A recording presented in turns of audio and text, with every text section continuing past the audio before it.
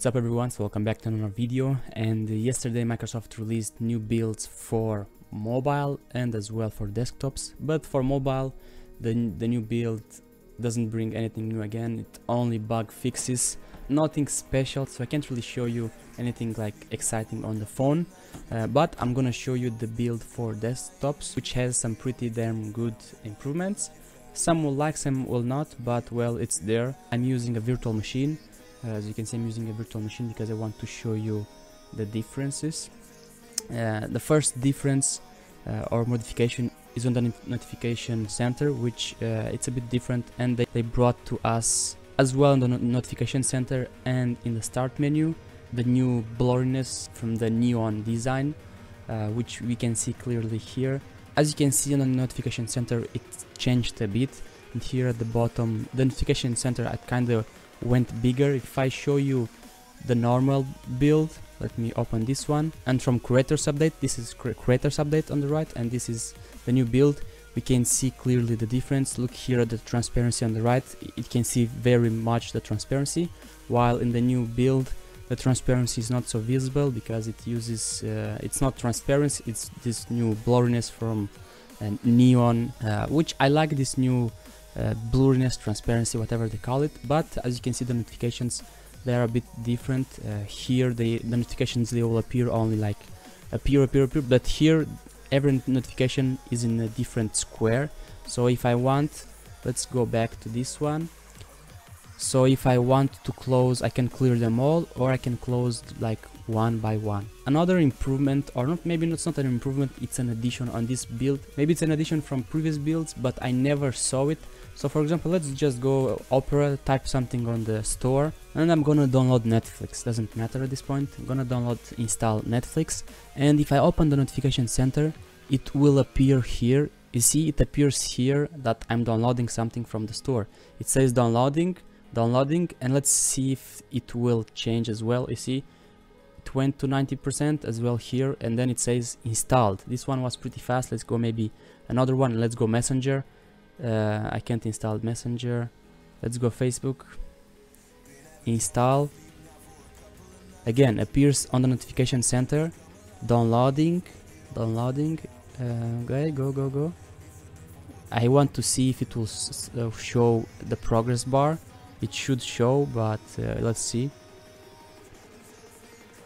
Yeah it shows the progress bar as well which is very cool. It's if you open the start menu it also shows here of course. I think this was always showing but on the notification center I never saw showing that you're installing something from the store and showing as well the progress. I never saw it but it's here and it's I think it's a pretty cool welcomed feature. I like it uh, and yeah as you can see every not new notification is in a different square and you have here notification visualizer store it's so it says from what those notifications are. This is from notification visualizer. This this is from the store. So if I close store, it will close all those uh, notifications. So it's pretty cool because I can close one by one, or I can close both notifications from this one, which I think again pretty cool, a new feature. Another uh, improvement it's in the Microsoft Edge. Uh, you can pin now um, websites. Let's go youtube.com and if you come here it says pin to pin this page to taskbar. And it pinned here at the bottom and as, as well shows you the icon which I think it's pretty cool. Another uh, improvement on this uh, Microsoft Edge is you have this icon now which this icons goes like full screen. I press now F11 goes to full screen but some people doesn't know about that so they added this icon here which uh, again it's a cool uh, addition and the most weighted feature on this build there was some reports that Microsoft will gonna port the the keyboard from mobile to desktops and they actually did it in this build.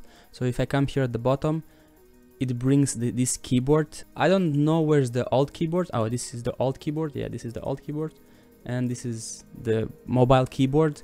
I'm using a desktop uh, my desktop doesn't have a touch screen so I can't really touch the fingers on the keyboard. And this keyboard then you can uh, put it in uh, left or right.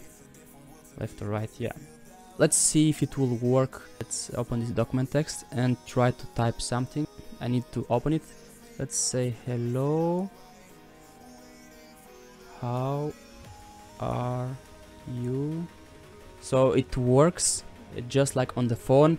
I tried to make the movement with the mouse because I don't like I said I don't have a touch screen but it works. It's exactly like on the phone. I think they will resize this keyboard for the normal older keyboard like this one. So they will bring that keyboard or resize it like this one on full screen or like this because it doesn't make sense at the moment to have a, such a small keyboard.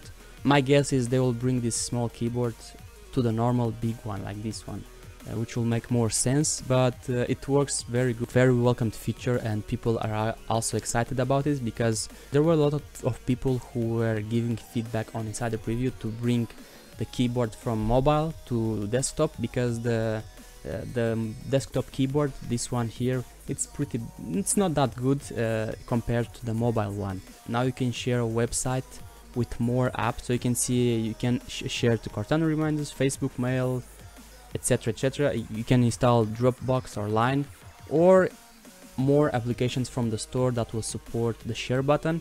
And there is the copy link which again I doubt I'm gonna ever use a copy link because I just click on the link control C or even right click and copy. At least for me it takes more time to go in the share button than copy link. It's good that it's there. Some people will use it some people not. I'm not gonna use it. Some other people will use it.